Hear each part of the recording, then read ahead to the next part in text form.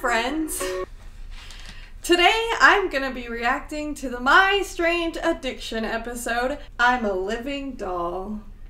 If you're new here, this is my React series where I watch documentaries, shows about the fashions that I love and support, and sometimes they're winners and sometimes they're bad. My last episode, I watched the Barcroft documentary about the Kawaii girl and the goth girl that lived together, which was a really good portrait documentary about different alternative fashions. This one's a mess. I mentioned in my last episode that I have a history in documentary filmmaking, that I went to film school, that I've worked as a PA on documentaries. I've been in a few documentaries myself. Interesting backstory. I was approached to be in this, and I said, no. Very important thing to know about my Strange Addiction and this episode in particular is that the people that were on it did not know that they were going to be on My Strange Addiction. The production company, which I will not name because I'm afraid of getting in trouble, but uh, Google them and if you ever are approached by them to be in a documentary, I highly suggest that you don't do it because a lot of the documentaries that they make are shockumentaries. They have the narrative of like trying to show their subject as being weird and strange. When I was approached by this company to be in a Lolita series, it was told to me that it was going to be a series of videos and it was documenting the lives of Lolitas, but their working title was I'm a Living Doll. And I was like, no, I can't be a part of anything that says I'm a living doll. I don't want living doll to be in whatever I'm in at all because I'm not a living doll. I had several email conversations with them, I had Skype calls with them, and I tried to talk to them about what Lolita fashion is, and they were reaching out to other people in the community. At the time, I lived in California, so they were reaching out to like the LA community, and everyone else was pretty much saying the same thing. At no point did they say that it was going to be my strange addiction. And then unfortunately, Emily got involved in it, and she's a cosplayer, and she also wears. She wore Lolita. I'm not sure if she still does, but she kind of has her own unique style. They completely manipulated her. So I've already seen this episode. It's been quite a while. Something really important to note if you are ever approached to be in a documentary, you want to ask where it's going, going to air, what the series is, like who's backing it, who's involved with it, and then also what their direction is with it.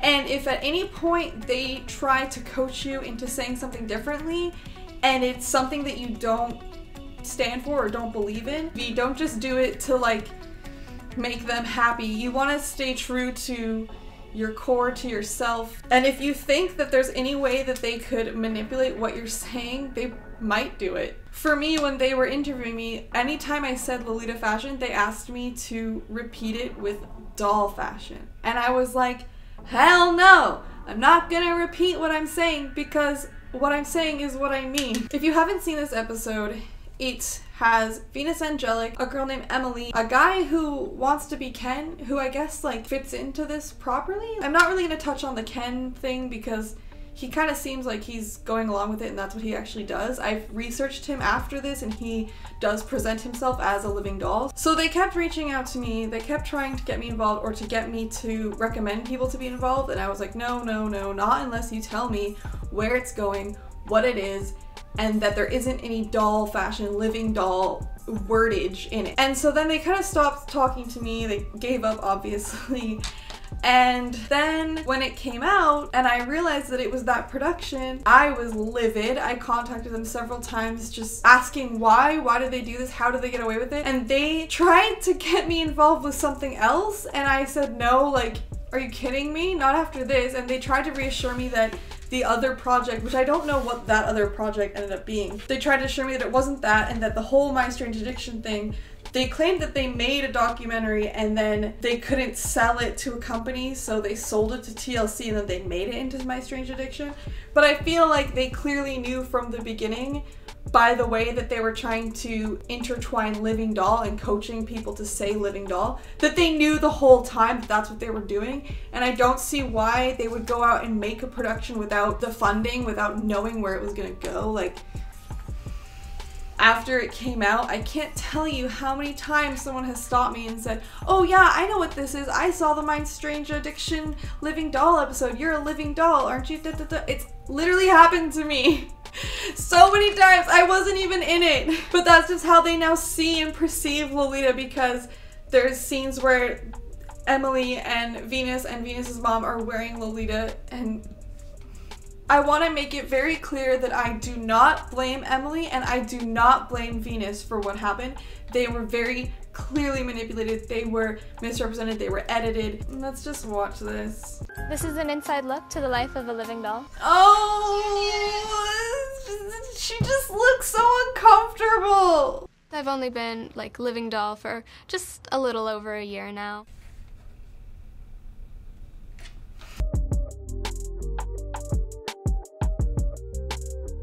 Some of the measures that I go to to look more like a doll, I eat smaller portions of food and I weigh myself two to three times a day. This is dangerous behavior. This is not good. I accidentally laced one of my corsets too tight and one of my ribs is now pushed in a bit too much. Emily! I don't like what I see. I need the makeup, I need the circle lenses. It's just, I look like poop. I don't think that she actually believes that. I think that they asked her something and she replied with it that way. That's constantly teasing. Yes, emo Emily! We love an emo queen. Stuff. I eventually discovered that I really loved Lolita and like dolly attire. Two for Lolita, 800 for Dolly. So I became a living doll. Notice how when she just said that, I became a living doll, it was a voiceover.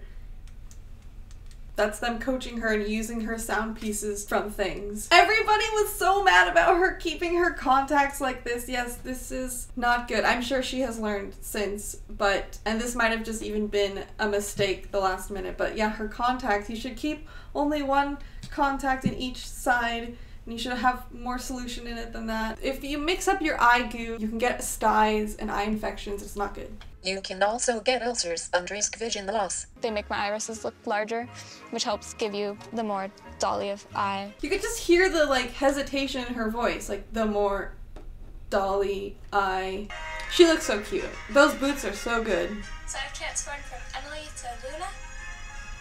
Luna is like my doll name. Again, a voiceover of Luna's my doll name. Luna's her cosplay name. But she probably said Luna's my cosplay name and they said, Can you repeat that? But can you say doll? Venus! Oh old Venus.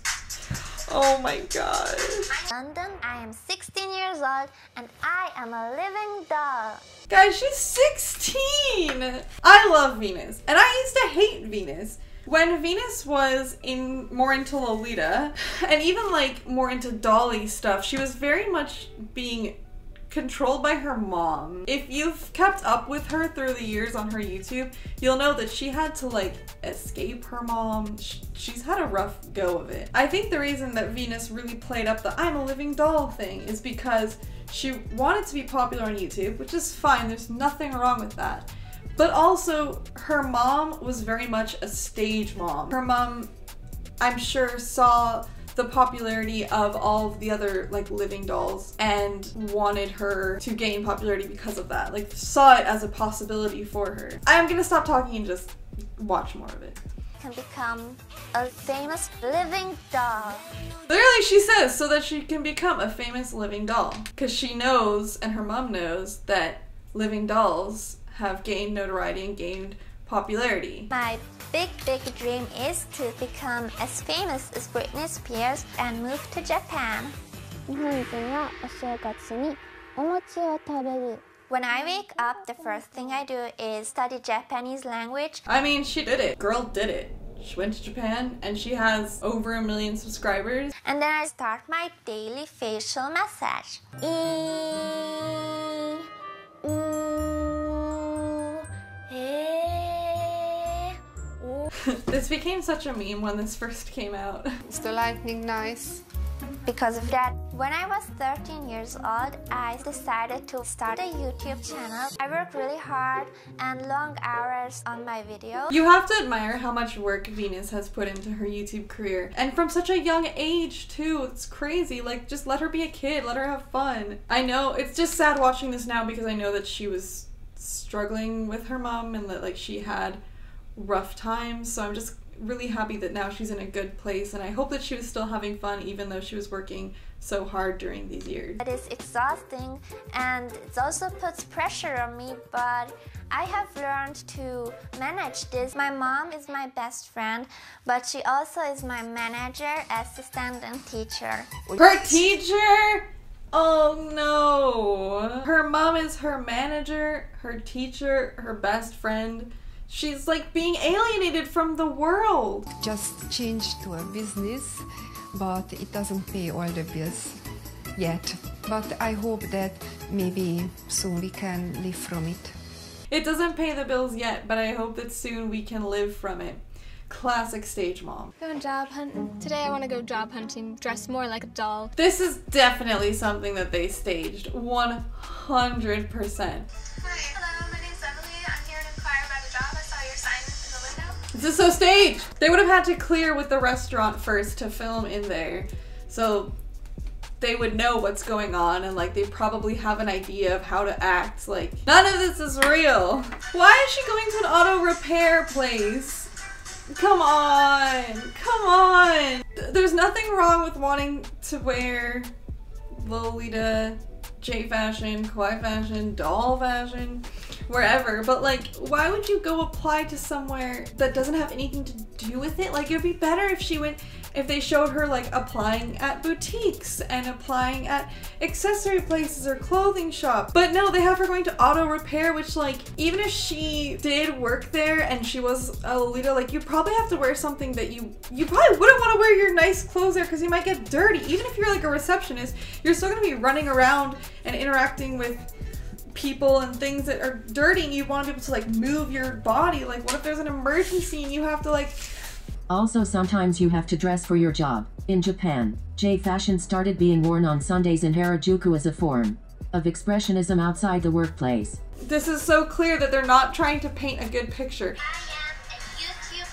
you are venus go venus i'd like to take a moment to reflect on what this documentary is trying to tell us it's clearly trying to tell us that living dolls are strange and unusual can't get jobs want plastic surgery and then Venus's storyline is, is kind of positive. It's just showing that she's a YouTube star and that she wants to be famous. Like that's she's kind of got the good storyline.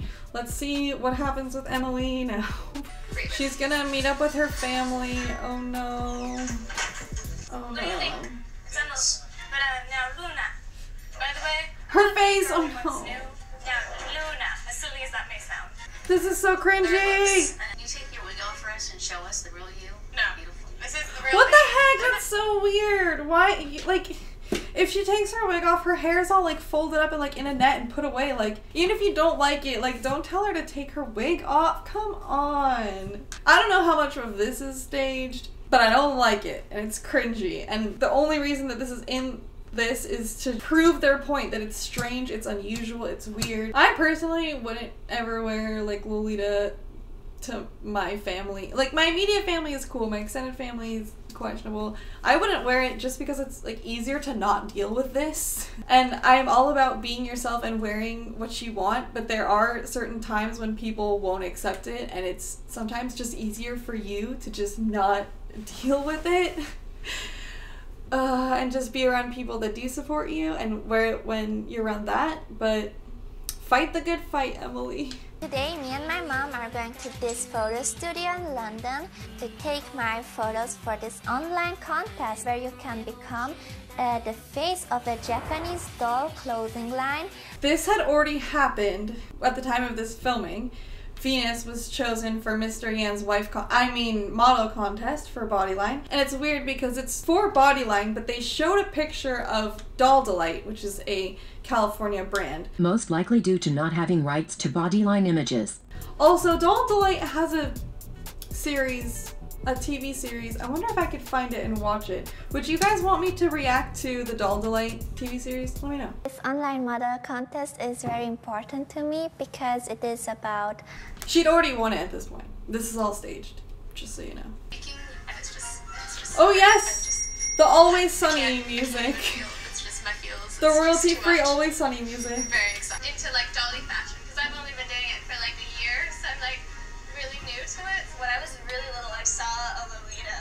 Oh, walking around and I Ona! like from that point. Saying Lolita. That's the third time it's been said in this video. Can I ask you guys something personal? Oh, How far are you guys willing to go to look like a doll? I don't think I. that was such a coached question. How far are you willing to go to be a living doll? That was definitely one of the producers said, hey, can you say this? Can you approach this with the group? If you are watching this and need a little retail therapy, after all the cringe, check out Au Boudoir d'Alice new online shop. You can buy Lolita fashion and go forth to represent it properly. Thank you Au Boudoir for sponsoring this video. You help the Lolita community thrive. That's the end of what I could find on YouTube of this episode. I hope that you could see the signs, the flags, that this was a very manipulated, doctored documentary. When you watch documentaries like this, when you see this, you definitely want to think to yourself, what's the story that they're trying to tell? And Venus's story was actually not too bad. It was just that she's a living doll and that she's trying to make it big on YouTube, which is fine. And then Emily, they very much were showing that she's a weirdo. Like every aspect of it was being like, this is weird, this is strange, this is unusual, my family doesn't accept it, I can't get a job. They weren't showing her in a good light, and that's absolutely not her fault. You can tell that they planned these things. Let me know if there's any other TV shows or documentaries or anything that you want me to watch that relates to J fashion, Lolita, Kawaii fashion in both a good light and a bad light. I want to watch it all. I want to react. I want to talk about it and teach you to learn from it. And of course, stay lovely.